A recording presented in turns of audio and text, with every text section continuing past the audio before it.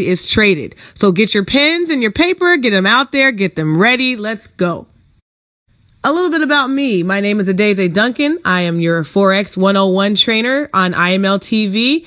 And now here I am educating you on the facts and figures of Forex. Also, I've been a teacher for the last 10 years, so this is nothing new to me. So please pay close attention. Make sure that you remember that you are a student. On finishing this video, Upon finishing this video, you should have a very good understanding of the following questions. Read through them quietly to yourself. As you are taking notes, make sure to pause this video in order to answer these questions. So what actually is being traded in the Forex market? The simple answer is money but you're not actually holding anything physical. The money is more virtual than anything. Okay. So from now on, I'm not going to refer to this money in the Forex market as money. From now on, I'm going to actually be referring to them as currency pairs because that's actually what we're doing.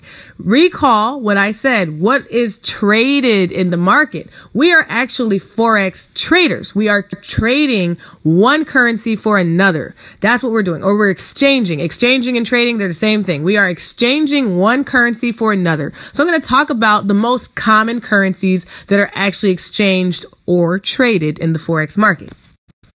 So let's get back to some of the major currencies, or excuse me, some of the most common currencies that you're going to see being exchanged in the Forex market. Some of those include the United States dollar, the euro, the yen, the Japanese yen, the pound, the Swiss franc or franc, the Canada, Canadian dollar, the Australian dollar, and the New Zealand dollar. Those are some of the most common that you will see exchange in the, in the Forex market. There are others, but those are the ones that we will put most of our focus on.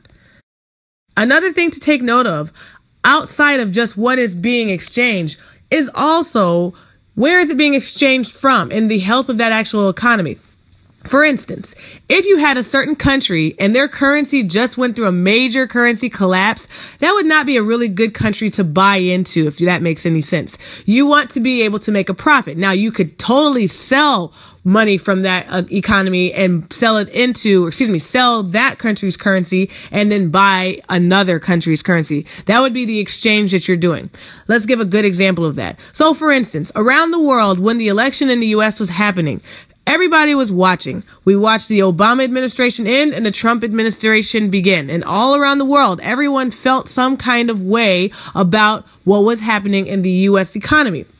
As a result, a lot of people decided to sell the US dollar because at that moment they felt like, I guess, that, that wasn't very good for the economy. So they decided to sell and buy into another economy that they felt was more stable. Now, of course, eventually they ended up doing the opposite. They ended up selling off the country they thought was more stable and then rebuying up the US dollar. But those types of exchanges happen very frequently and it's all around based around how they feel about that economy. That's called market sentiment, which that we will get into another time.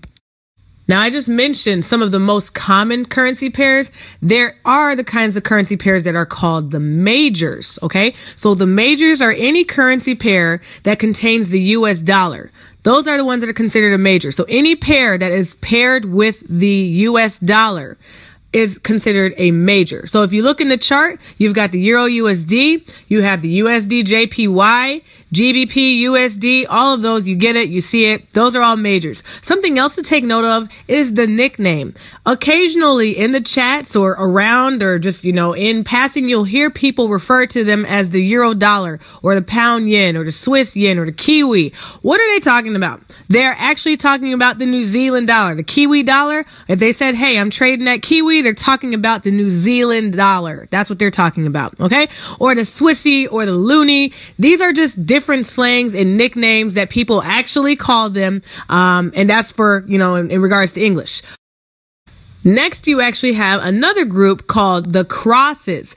The crosses are also referred to as minors. So you have the majors, any pair with the US dollar, and then you have the minors, any pair that does not contain the US dollar. So I don't want you to get confused. The crosses also refer to minors. They, they can be either or. They can be crosses or minors. So anything that does not have the US dollar is considered a cross. So I have a table here with the yen crosses. You can take a look at them. You can feel free to pause the video. I'm going to keep on moving.